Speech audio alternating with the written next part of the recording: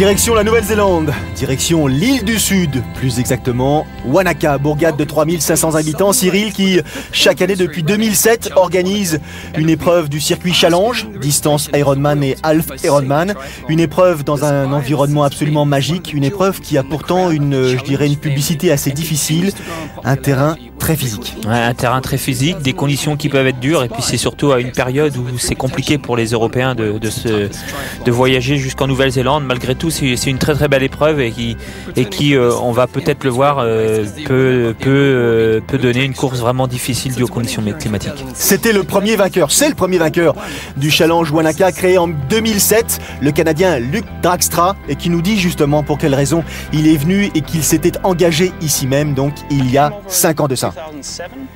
Je suis venu ici la première année en 2007. À l'époque, je faisais partie du groupe entraîné par euh, l'Australien Brett Sutton. Je courais beaucoup, j'avais effectivement euh, un certain nombre d'épreuves à mon euh, planning. J'étais en forme à l'époque, j'étais plutôt affûté, agressif. Et je pensais que cette configuration de terrain, ce lieu, cette épreuve donc, correspondrait à mes capacités. Et donc j'ai inscrit mon nom en tant que premier vainqueur de ce challenge Wanaka. Je suis vraiment tombé amoureux, mais vraiment amoureux de cet environnement, de cette euh, île. Et chaque année, je reviens. Je me dois de revenir. C'était la première victoire, ma première victoire sur une distance Ironman. Et donc euh, j'ai continué à venir défendre, entre guillemets, cette première victoire, même si euh, d'année en année, je n'étais pas aussi bien préparé.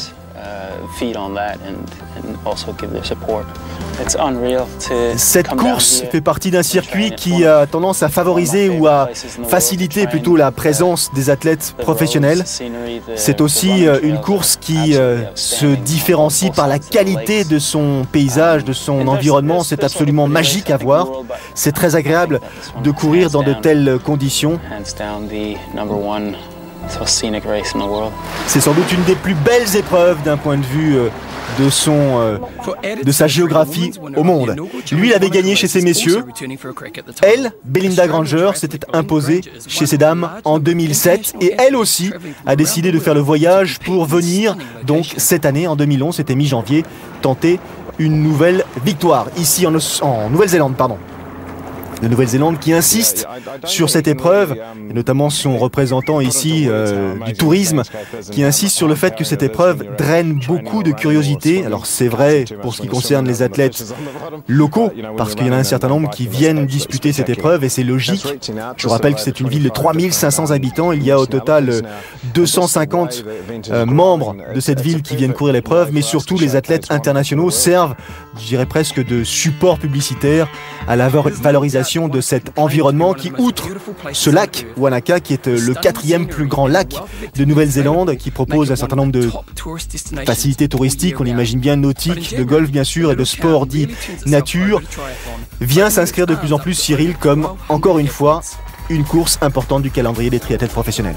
c'est une course importante, c'est une course qui, euh, on l'a dit, hein, draine, draine pas mal de monde, donc on est, on est vraiment dans dans ce qui se fait de, plus général dans le triathlon, c'est-à-dire qu'on vient pour faire du sport, mais on vient aussi pour faire du tourisme. Et c'est vrai que les Australiens qui habitent à côté bon, viennent nombreux sur, euh, sur l'île et en Nouvelle-Zélande. Et lui, justement, Joss Ricks, il est australien et il dit Je suis bien content d'avoir quitté les conditions climatiques difficiles. Chez moi, à l'époque, il pleuvait énormément, c'était les fameuses inondations en Australie. Ici, il fait beau.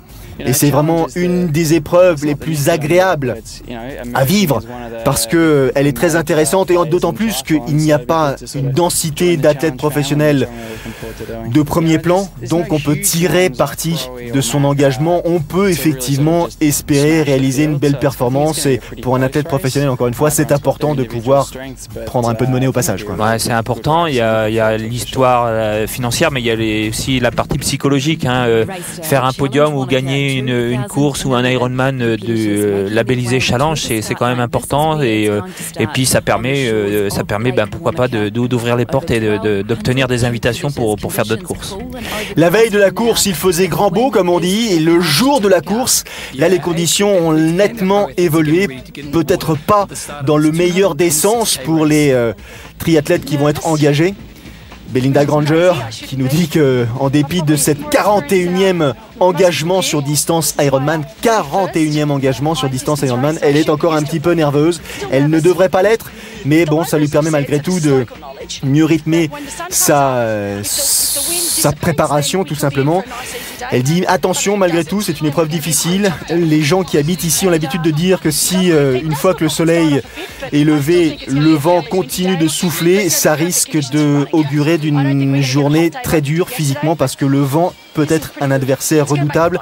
Le parcours cycliste, pour la plupart d'entre eux ou d'entre elles, sauf pour Granger qui a des facilités, peut représenter véritablement un obstacle majeur. le vent, c'est vraiment terrible en, partie, dans la partie vélo. Hein. C'est-à-dire que euh, bah, il y a un moment donné, on va avoir le, vent, de face et, euh, là, ça va être, compliqué.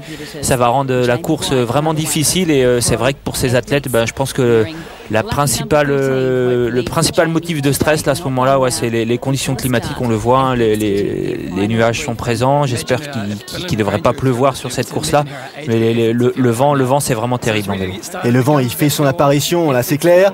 Il commence à monter en intensité. Pour vous situer un petit peu le plateau présent ici parmi tous ses concurrents. Alors, les professionnels partent avec des bonnets de couleurs différentes, bien sûr. Bleu chez ces messieurs, blanc chez ces dames. Les bonnets oranges, ce sont les bonnets des groupes d'âge, des amateurs, comme on les Parmi les pros présents, on a vu qu'il y avait Luc Dragstra. Il y a Jimmy Johnson aussi, le Danois qu'on a vu et qu'on a suivi la saison dernière, qui s'aligne régulièrement sur les épreuves de la série Challenge. Keegan Williams, l'Australien. Jamie White, néo-zélandais. Jamie White, il habite à quelques kilomètres d'ici. C'est vraiment son jardin. Et puis il y a parmi les autres Courtney Ogden, un autre Australien qui lui s'est imposé récemment, c'était en fin d'année 2010, lors de l'Ironman Western Australia, puisque c'est lui qui a remporté cette épreuve. Première victoire sur distance Ironman. Il y en a d'autres, hein. Vabruzek notamment chez ces messieurs. Et puis pour parler de ces dames rapidement, on a vu que Belinda Granger était ici. Il n'y a pas forcément beaucoup d'adversité chez les dames, comme c'est souvent le cas. Attention à Christy Sim, l'Australienne, et attention, attention à Belinda Harper, la néo-zélandaise aussi, qui a euh, récemment réalisé de belles perfs, notamment à Hawaï, parce qu'elle a remporté Hawaï dans sa catégorie d'âge l'année dernière parmi les 35-39. Et Belinda Harper, elle aussi connaît très bien l'endroit, c'est son jardin. Leur retour sur la natation, 3 km 8, de boucle et Cyril déjà des conditions difficiles. Ouais donc euh, des conditions difficiles parce qu'on le voit hein, euh, le lac le lac bouge un peu il y a des vagues et euh, même si c'est des vagues qui sont pas vraiment impressionnantes comme ça quand on est dans l'eau pour nager c'est difficile parce que on perd les appuis on a du mal à se repérer en plus bah, on le voit hein, la couleur de l'eau et c'est la même couleur que le ciel donc, euh, alors qu'hier, euh, enfin la veille de la course, pardon, euh, l'eau était magnifique, là, la même couleur que, que, le ciel, donc difficile de se repérer. Et puis, et puis, bah, ces vagues qui, qui, font que les appuis, les appuis sont pas bons. Alors, c'est un lac. Normalement, un lac, c'est totalement plat. Il y a pour ainsi dire jamais de vagues ou très rarement. Il se trouve que le jour de cette compétition, pour la cinquième édition donc de ce challenge disputé à Wanaka, sur ce lac de Nouvelle-Zélande, de l'île du Sud, regardez, les vagues ont fait leur apparition.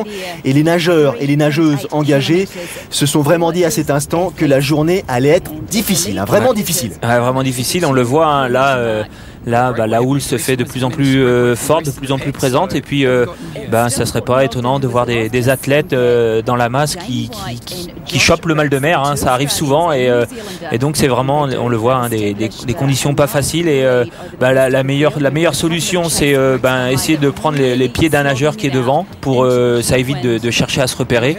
Et puis, euh, et puis ben, euh, euh, oublier un peu la technique de natation hein, parce que là, il y a un moment donné, on, va pousser dans le vide parce qu'on va être au creux d'une vague et puis, et puis le, coup d'après, en remontant le bras, on va taper dans le haut de la vague. Donc c'est vraiment compliqué. En tête de la compétition, un groupe de trois nageurs. Un exemple là sous nos yeux, Cyril, de ce que vous disiez à l'instant. Non seulement des difficultés à se repérer, mais en plus des nageurs qui prennent un tour parce qu'ils sont amateurs et qui n'ont pas forcément la même habitude que les pros, ce qui ajoute encore une fois la difficulté de se repérer et d'avancer. Groupe de nageurs devant, trois individus, Courtney Ogden, l'Australien, Jamie White, le Néo-Zélandais, et Josh Ricks, lui aussi jeune Australien. Trois hommes qui ont pris un vrai, vrai avantage sur leur poursuivant immédiat.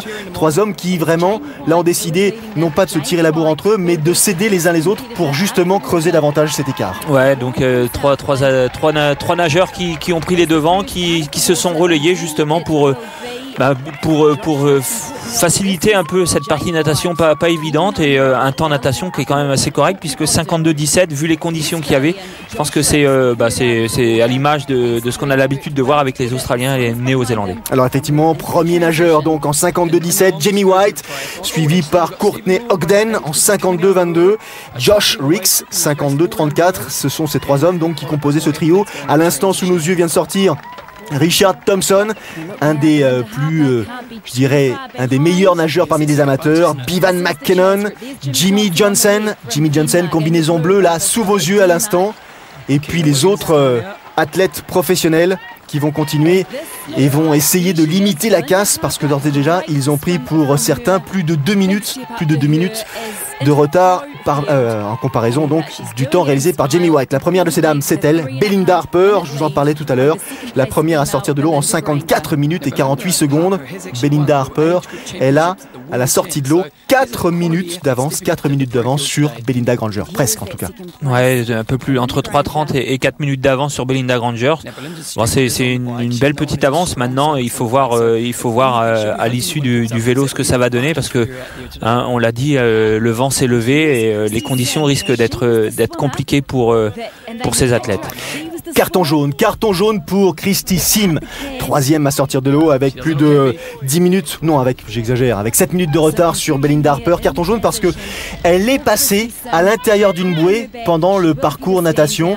Elle a été donc, euh, je dirais, euh, tout simplement remarquée par les, par les juges et les arbitres qui lui ont décidé de lui coller 4 minutes de pénalité. Elle doit attendre 4 minutes. Ah ouais, parce que je comprenais pas là dans, dans, dans, dans, dans l'ère de transition pourquoi elle prenait un, un, carton. Elle avait bien fermé la jugulaire de son casque avant de, de sortir du, parc à vélo.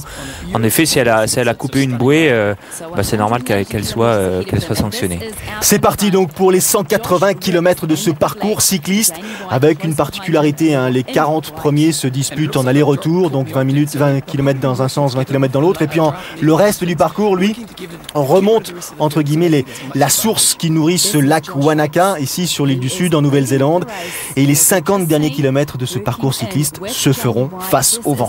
Ouais, donc euh, une partie face au vent en fin de parcours, donc euh, forcément, c'est pas l'idéal, c'est ce qu'il y a de c'est ce qui est le plus dur. Là où on commence à être fatigué euh, physiquement, eh ben, on va avoir en plus euh, à surmonter ce vent et euh, un travail psychologique qui va vraiment être important. Un parcours vallonné, c'est normal. Hein, quand on voit les, les images, on voit des collines, des montagnes tout autour de ce lac. Donc un parcours vallonné qui qui bah, qui va faire que c'est possible qu'il y ait des, des, gros gros écarts à la fin de ce vélo. Hein, à partir du moment où c'est vallonné, qu'il y a du vent, il va falloir être fort psychologiquement, penser à bien s'alimenter. On a vu déjà les écarts importants. Regardez à la troisième place, Courtney Ogden. Il a déjà 40 secondes de retard sur Josh Ricks, le jeune Australien de 33 ans qui a pris les commandes. Ricks qui a terminé dixième de l'Ironman de Western Australie. C'était euh, à la fin de la saison dernière. Roule anticulaire pour Courtney Ogden en troisième position. C'est pas forcément la meilleure des idées. Hein. Ouais, vu le, vu le parcours de vallonné, vu les conditions climatiques avec beaucoup de vent, euh, ben, on espère pour lui qu'il n'y ait pas beaucoup de vent de, de côté parce que sinon ça va être, ça va être compliqué et surtout sur 180 km, euh, ça risque de, ça risque d'être dur pour cet athlète. Alors par endroits, ils auront l'occasion d'être abrités, ne serait-ce que parce que leur relief leur permettra effectivement de s'abriter, mais ce seront des passages qui seront tellement infinitésimales d'un point de vue de la quantité que c'est pas là qu'ils pourront se refaire la cerise, comme on dit. On voit Christy Sim, là, à l'instant, sur l'écran, qui là, après sa pénalité, elle compte près de 10 minutes de retard sur Belinda Harper en première position, et Belinda Granger est devant elle, bien sûr, en deuxième place. Christy Sim, nouvelle venue sur le circuit triathlon et triathlon longue distance. Sa première expérience, c'était en 2009 en Australie aussi, elle avait pris la deuxième place de l'Ironman Western Australia. Pour ce qui concerne Belinda Granger, avec 3 minutes 15 de retard sur Belinda Harper, pas tout à fait la même expérience. On vous disait, c'est sa 41e participation sur une épreuve de distance Ironman. Ouais, 41e euh, Ironman ou distance Ironman, donc je pense qu'elle elle, se connaît parfaitement, elle n'est pas vraiment inquiète. 12 euh, victoires sur ses 41 participations, donc euh, elle, a le temps de voir venir. En plus, elle connaît la course, elle a déjà gagné là-bas en Nouvelle-Zélande. Euh, elle connaît le parcours parfaitement. 4 minutes de retard à la sortie de l'eau, c'est pas non plus euh, dramatique pour Belinda Granger. Le public venu soutenir ces aventuriers. Et lui, parmi les aventuriers, il est bien placé. Petre Vabouzek, il doit courir quelque chose comme 10 Ironman chaque année. Sans compter les courtes distances, les marathons et autres épreuves en tout genre, c'est véritablement quelqu'un qui ne s'arrête jamais. Il n'a jamais euh, pour autant réussi à vraiment performer. C'est logique aussi. Jimmy Johnson, lui, est un tout petit peu différent sur ce plan-là. Nouveau venu aussi, qui commence, après sa victoire sur le Challenge Barcelone l'an dernier et à Weihai en Chine, commence un petit peu à attirer l'attention. Ouais, il avait fait une, une, belle place aussi au championnat du monde l'an passé, au championnat du monde ITU longue distance. Donc c'est un athlète qu'on a l'habitude de voir régulièrement. Euh, Jimmy Johnson, qui euh, normalement sur ce genre de parcours devrait pouvoir tirer son épingle du jeu. Euh, un Danois assez puissant, donc qui devrait pouvoir euh, monter ses monter ses, c'est pas des hein, c'est des, collines, donc monter ces, espèces de collines assez facilement. Et puis derrière, en course à pied, ben, le connaissant, il devrait pouvoir récupérer bah, les athlètes qui seraient devant lui et qui seraient un peu en difficulté. Jamie White, c'est désormais lui. Jamie White, le néo-zélandais de, je dirais presque Wanaka, parce qu'il habite à 30 minutes d'ici. C'est lui qui a pris les commandes de la course devant Josh Ricks. Ils sont deux compétiteurs à avoir fait, euh, je dirais presque, l'écart avec leurs poursuivants immédiats, et notamment avec euh, Richard Thompson qu'on a vu passer à l'instant, avec euh, Keegan Williams, avec une position particulière sur son vélo Cyril, et puis surtout, euh, il emmène un sacré braquet. Hein. Il emmène un gros braquet, une position vraiment, vraiment bizarre. Hein. Il est un peu recroquevillé, le, guidon monte très très haut, il perd presque tout le bénéfice de la position aérodynamique en ayant cette position-là. Donc, et puis au niveau, au, niveau confort, je sais pas si c'est vraiment l'idéal, à la différence de cette position qui est bah, on le voit hein, beaucoup plus euh, beaucoup plus aérodynamique et puis euh, bah, on, le, voit aussi dans, le pédalage. Hein, c'est un pédalage qui est beaucoup plus fluide. On a vu passer devant nous donc Bevan McKinnon, 39 ans en quatrième place et désormais on remonte la course donc Courtney Ogden et sa roue lenticulaire, 3 minutes 20 de retard sur le binôme Rix White pour l'instant, Ogden qui est un athlète déjà un petit peu expérimenté, 38 ans, première victoire sur distance Ironman, je vous le disais, c'était euh, en 2010, donc il y a quelques mois simplement en Australie. C'était à Busselton où il avait remporté donc le Western Australia. Il a quelques performances et podiums à son actif, mais pas encore de, de fait d'armes majeur. Chez ces dames, Belinda Harper. Elle possède à cet instant, Belinda Harper, 3 minutes 20 d'avance sur, euh, sur Belinda Granger. C'est plutôt pas mal pour ce qui concerne Harper. Sixième de l'Ironman de Nouvelle-Zélande en 2010. Je vous l'ai dit un peu plus tôt, hein, qui a remporté son, euh, sa catégorie en groupe d'âge 35-39 ans à Hawaï euh, lors de la dernière édition. Donc une athlète à surveiller, pro, néo-pro, et qui là, après euh, presque 70-80 km, est franchement bien placé devant, même si on vérifie, Cyril, que le vent commence à faire des siennes. Hein. Le vent commence à faire des siennes. C'est vrai que par rapport à la, à la natation, elle a perdu que 19 secondes, donc c'est carrément presque rien du tout. Maintenant, on l'a dit, hein, Belinda Grangers, elle, a, elle connaît bien la course, elle a vu que les conditions étaient difficiles. Je pense qu'elle gère son effort. Maintenant, il, va falloir pour elle maintenir le plus longtemps possible cet écart de façon à essayer de faire douter Belinda Granger. Jamie White, il est désormais seul en tête. Jamie White, donc, quasiment en tête depuis le début de l'épreuve. Le natif de l'île du Sud, donc 29 ans simplement, deuxième expérience sur distance Ironman. Il avait pris une 13e place au Canada l'année dernière. Un petit problème mécanique, problème de pédalier, avait un petit peu anéanti son euh, engagement en quelque sorte. 4 top 5 sur Alpha Ironman, donc attention à surveiller. Ouais, Jimmy White, qui, euh, on le voit, euh, préfère ralentir au moment du, du ravitaillement pour, euh, ben, pour bien s'alimenter, ne pas, ne, ne, ne, pas louper un bidon ou une boisson énergétique importante, surtout avec les conditions, on, l'a dit, hein, le vent, ça dessèche, on s'en rend pas compte et, et le problème c'est que quand on s'en rend compte, et eh ben, c'est déjà trop tard. White, il a à 40 km de l'arrivée 5 minutes d'avance sur ce trio donc composé de Ogden, McKinnon et Keegan Williams. des conditions euh, vraiment difficiles on l'a vu, hein, des athlètes qui euh, logiquement n'ont pas le droit de, rouler les uns derrière les autres. Et ben euh, là, si on peut essayer de, se protéger, ne serait-ce que quelques mètres pour souffler, ça, ça, fait pas de mal. Donc des conditions, on l'a vu, hein, dès que le vent, dès que le vent est défavorable, ben on sent les athlètes qui, commencent à avoir à avoir mal. Bevan McKinnon qui a décidé de prendre l'initiative de tenter de sortir donc de ce groupe de trois compétiteurs qui essaient de revenir sur Jamie White. Et derrière, ça souffre. Hein. La roue lenticulaire de Courtney Ogden commence à lui poser de réels problèmes. Attention à ce vent qui vient chahuter le classement. Eh oui Et on a encore un exemple encore plus probant, Cyril. C'est Belinda Harper chute, chute là pour ce qui concerne Belinda Harper. Elle avait sans doute pas imaginé que ça pourrait causer de tels problèmes. Et du coup, elle est rattrapée, dépassée par Belinda Granger. Problème technique, problème, euh, je dirais presque humain là, parce que avoir le sang qui euh, bah, tapisse son épaule droite, ses mains, elle a dû effectivement chuter de manière assez sévère. Elle trouvera le, courage nécessaire pour relier l'aire de transition et continuer la course Belinda Harper. Arrivé dans l'aire de transition justement de Jamie White, le plus rapide de ces messieurs pour l'instant, 4 minutes 30 d'avance, Jamie White sur Bevan McKinnon. Il reste un marathon, hein, deux allers-retours, enfin deux boucles plutôt à courir d'un parcours qu'on appelle trail. Et pendant que Jamie White est en train de se changer, les arrivées des différentes courses se font, un Alpha Ironman, relais et ainsi de suite. Il y a aussi là à Wanaka toutes les épreuves nécessaires pour satisfaire les, les ambitions les plus variées. Ouais, bah c'est le, challenge family, hein. c'est vraiment la dénomination du, du label challenge. Donc euh, euh, la, la, course, la course phare, pardon, c'est la distance Ironman. Et puis euh, à côté de, cette course, ils organisent différentes courses pour les enfants et, pour l'ensemble de la famille. Donc en plus de, la distance Ironman, il y avait un Alpha Ironman de prévu au programme. Bevan McKinnon en deuxième position avec 4,30 de retard sur Jamie White. Autre particularité de ce type d'épreuve, on peut courir avec un petit peu de musique sur les oreilles, ce qui est totalement interdit sur le circuit Ironman. Troisième place pour, vous avez vu, Courtney Ogden, 8 minutes de retard. Quatrième place pour Keegan Williams avec 9,30 de retard sur Jamie White. On va respirer un petit peu, on va laisser Courtney Ogden quitter l'air de transition, attaquer le marathon.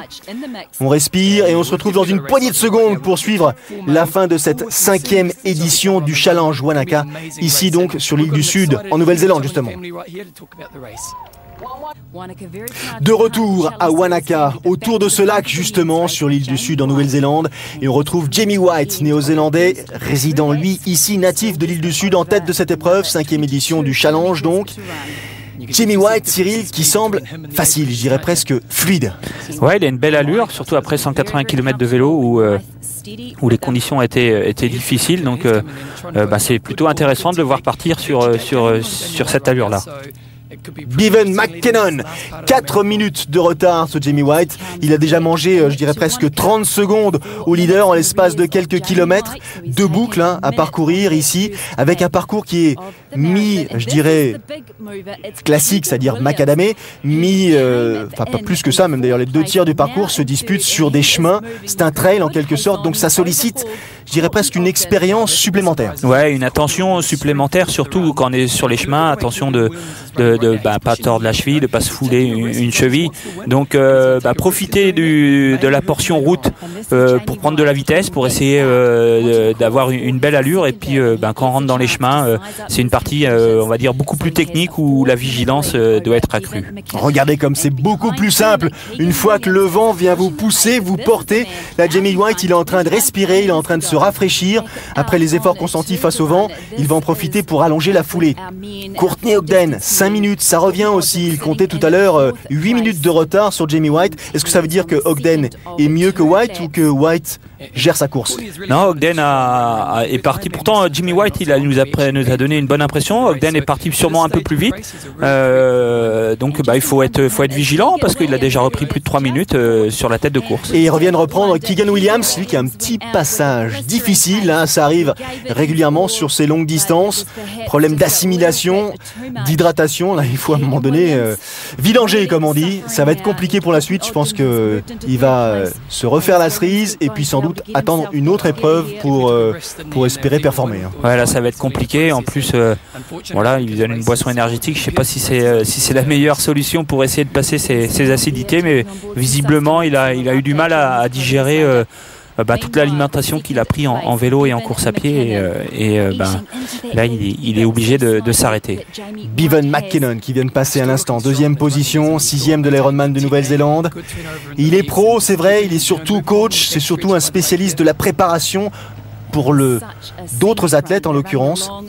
Et derrière, c'est Courtney Ogden qui est en troisième place. Là, c'est Luke Dragstra, dont on a vu, euh, dont on a euh, écouté l'interview en début de reportage, qui va se faire manger tout simplement par Jamie White. Il prend un tour, Luke Dragstra, la preuve qu'il était peut-être pas au mieux de sa forme. Hein. Non, il n'était pas au mieux de sa forme, hein, parce que prendre un tour comme ça, euh, quand on est professionnel, ça veut dire qu'il a, il a quasiment 20 km de retard, donc c'est vraiment énorme. Il a dû souffrir terriblement à vélo, et j'imagine déjà souffrir lors de la natation, parce que pour effectivement compter autant de retard sur un adversaire en tant que pro soi-même, c'est que la journée, elle avait déjà très très mal commencé. Fin de parcours pour Jamie White qui a une avance confortable, mais attention, comme le disait Cyril tout à l'heure, hein, les chemins empruntés, ce sont des chemins euh, pas macadamés, donc il peut y avoir, si on n'est pas attentif, une petite erreur de placement de pied, et on le voit, un appui peut tout de suite causer euh, un problème majeur. Là, il va aborder la dernière partie, la plus facile, j'irais presque, les dix derniers kilomètres qui vont l'amener à la ligne d'arrivée sur un sol dur, sur un sol facile à gérer. Là, ce qui nous intéresse, c'est ça, Cyril. Evan McKinnon en deuxième position, et derrière, Courtney Ogden qui est en train de revenir sur lui avec efficacité. Ouais, Courtney. En plus, là, il l'a en point de mire maintenant. Euh, avec les VTT, c'est qui, qui accompagne les, trois premiers euh, euh, de la course, c'est facile à, repérer, donc euh, forcément ça lui donne des ailes, mais il n'y a pas non plus vraiment beaucoup de temps à perdre parce qu'on approche de la fin de la course, donc ça, ça, nous promet un beau final. Et attention parce que McKinnon, lui, il fait un vrai stop là, il est en train de, je dis presque, déguster les boissons qu'on lui propose. Il a arrêté de courir. Il a fait ce choix sans doute pour mieux assimiler les liquides qu'il avait absorbé. Pour ce qui concerne Courtney Ogden, c'est pas tout à fait le même euh, style d'arrêt. Lui, on voit bien que le Coca, il est en train de repeindre la combi, mais en tout cas, il gagne de précieuses secondes. Et on est au kilomètre 38. Petit coup de cul, faux plat, boss, et Ogden est en train tout simplement de dépasser McKinnon. Ouais, puis on le voit, il attaque, hein, mais il a déjà le fait que que qu'il ait vu l'athlète s'arrêter devant lui, ça lui a donné des ailes. Donc on l'a vu, hein, il a vite, euh, il s'est vite ravitaillé, il l'a pas, il l'a pas euh, il l'a pas loupé, ça c'est déjà important. Et puis euh, ben voilà, c'était quelques secondes de gagner. En plus là, on arrive dans une portion un peu plus difficile, donc euh, bah, il, fait l'effort justement pour lâcher son adversaire. C'est terminé, la course est quasiment finie. C'est la foulée de Jamie White qui compte à cet instant précis, c'est-à-dire à à peu près un kilomètre de l'arrivée, 3 minutes 30 d'avance sur ses poursuivants immédiats. Il peut commencer à apprécier. il peut commencer à, savourer, on le voit, hein, mais euh, euh, un très beau marathon. Hein, euh, bon, 3h10 euh, au marathon, c'est pas non plus les, records, mais on l'a vu partir sur un, bon rythme et puis il a, maintenu son rythme. Alors, je pense qu'il a, a bien géré sa course. Il avait une certaine avance à la fin du vélo qu'il a géré pour gagner avec un peu plus de 3 minutes d'avance. Allez, on referme le petit col histoire d'être présentable pour tous les copains, la famille venue. Et là, qu'est-ce et c'est McKinnon qui trouve les ressources nécessaires pour, dans, la, dans le faux plat descendant, après cette bosse que l'on a vécue, revenir et dépasser à nouveau Ogden. Il y, a un, il y a un mano à mano là pour les deuxième et troisième places, assez intéressant. Il reste un peu allez, un peu moins de 2 km à parcourir.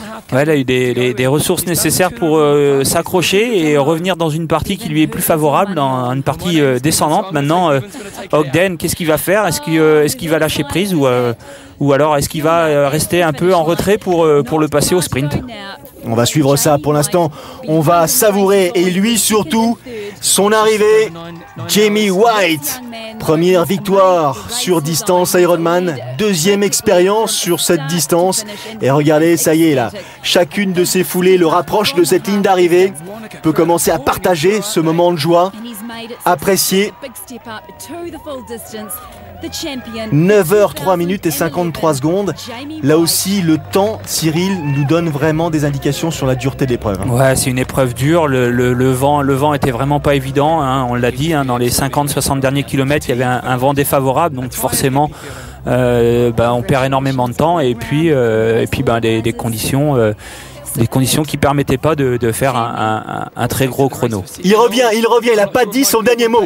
Courtney Ogden. Allez, il nous reste à peine un kilomètre avant le franchissement de cette ligne d'arrivée et on a l'impression que McKinnon est à l'arrêt là. Il y a, il y a plus de jus. Ogden en profite pour accélérer sous les yeux de McKinnon en se disant il va vraiment falloir que tu donnes tout et encore davantage pour essayer de suivre ma foulée. Hein. Ouais, c'est surprenant hein, parce que c'est sur une partie où on avait l'impression que, que McKinnon était, euh, était à l'aise, une partie descendante, et puis Ogden a, a, a, fait l'effort. Et alors là, ils, ils finissent, en, en ils finissent ces, ces, quatre derniers kilomètres, en, on va dire en fartlek, c'est-à-dire que accélération, récupération, accélération. Donc euh, ben, un finish intéressant et, euh, et, une belle course pour Ogden. Ogden donc, deuxième, 9h 7 minutes et 25 secondes. Troisième place pour Bevan McKinnon, 9h 7 minutes et 37 secondes, 12 secondes d'écart après autant de kilomètres parcourus. C'est presque impensable. White, Ogden, McKinnon, c'est le podium masculin de cette épreuve, de cette cinquième édition du Challenge Wanaka.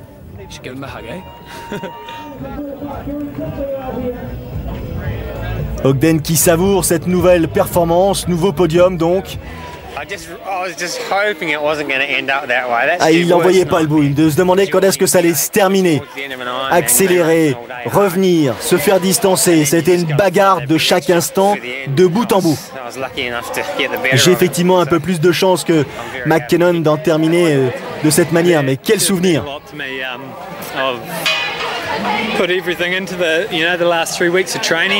je me suis bien préparé pour cette épreuve ici. J'ai effectivement fait le nécessaire pour me sentir dans des conditions de course quasi idéales.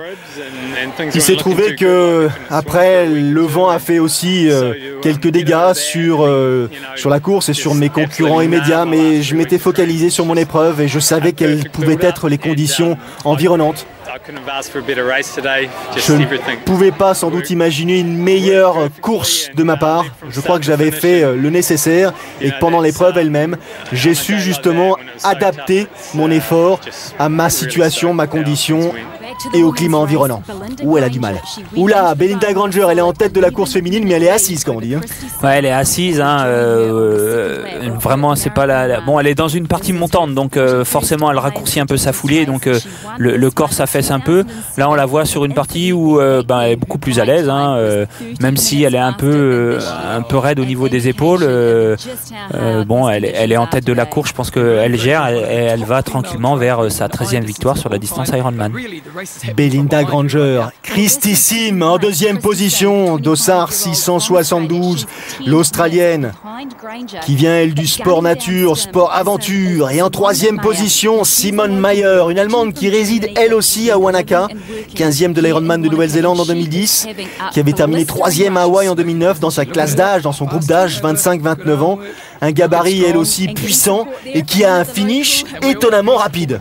Ouais, une petite foulée, euh, elle se fait encourager par son adversaire, mais euh, elle ne fait pas attention et puis elle, elle revient progressivement comme ça vers, euh, vers la tête de course. Et oui, elle passe de la troisième à la deuxième place parce que là aussi, dans les derniers kilomètres, Simone Mayer, là, tout en puissance, revient sur Christissime qui a du mal, elle, à suivre la foulée donc de l'Allemande qui s'accroche pourtant dans le même temps.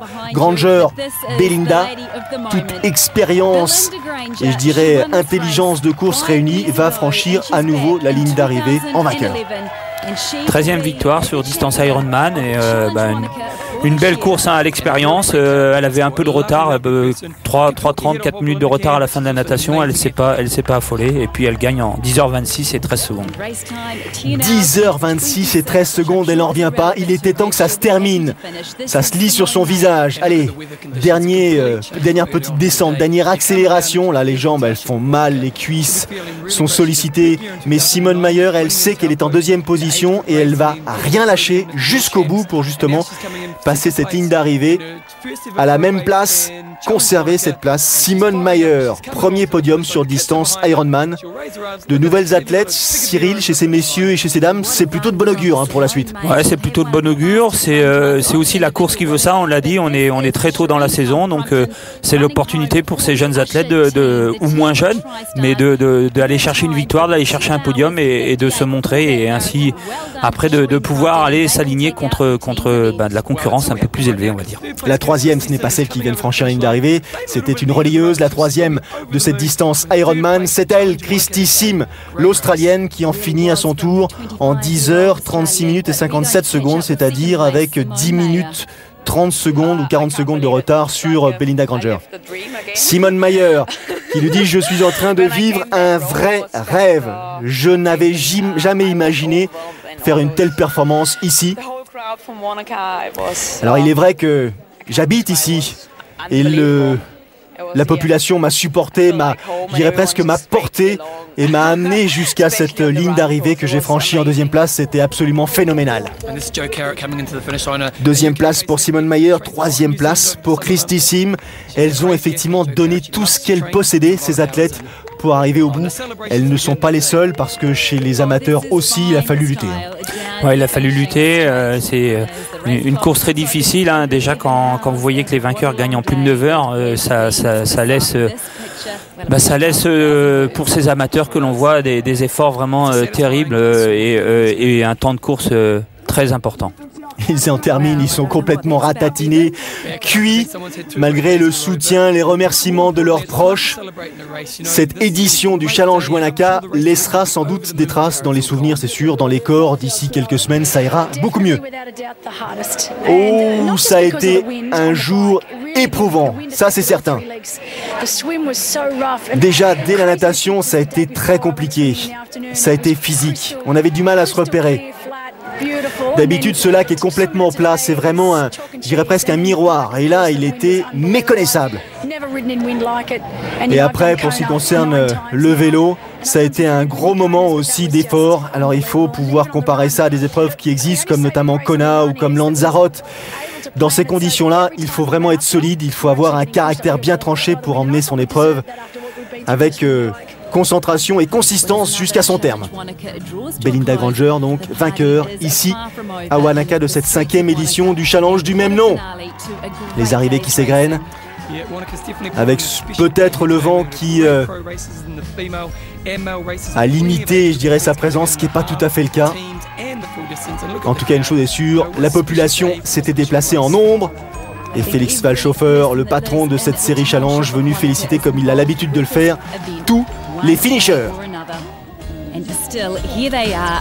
On va changer de décor, changer de territoire de jeu d'ici une poignée de secondes, Cyril, pour aller découvrir là aussi une nouvelle épreuve qui est récente dans l'actualité des euh, distances Ironman proposées aux triathlètes du monde entier. On va aller direction Israël pour aller suivre la troisième édition de l'Israman Negev. Un décor très différent, un décor beaucoup plus sec. Pour l'instant, on profite de ce feu d'artifice et de ces émotions, de ces effusions de joie ici à Walaka. Nous y sommes. C'est la mer Rouge. C'était le euh, troisième week-end du mois de janvier, troisième édition de l'Israman Negev. On est ici effectivement euh, au bord de la mer Rouge. Au, au, nord, il y a ce fameux désert de Negev des conditions de course qui ne sont pas les mêmes que celles que l'on a vécues il y a quelques minutes, mais qui elles aussi sont très difficiles. Ouais, des conditions euh, très difficiles. Euh, une nouvelle destination euh, qui, au vu de ces images, donne vraiment envie d'aller courir. Et puis, à nouveau, une, une distance Ironman, donc 180 km de vélo comme ça dans on va dire entre guillemets dans le désert, mais c'est des conditions, euh, des conditions également extrêmes. Nous sommes à Elat, Elat bien connu, ville balnéaire renommée, site touristique bien sûr, qui organise donc depuis trois saisons. Maintenant, c'était la troisième édition cette année. Cette course, format Ironman, Alpha Ironman et relais cette course qui a le mérite d'exister en début d'année, donc qui leur propose, et notamment aux Européens qui sont en mal de soleil, une destination agréable en période hivernale. Mais attention, c'est un faux ami, cette épreuve est véritablement une épreuve très dure, c'est-à-dire engageante, parce qu'une fois qu'on a euh, traversé les Olympides de la mer Rouge, on attaque derrière le désert du Negev, et c'est ça. des, longues, cols, euh, beaucoup de chaleur, donc on est euh, à la fois obligé de se protéger parce que euh, le soleil est fort. au moment où on passe, il peut faire frais.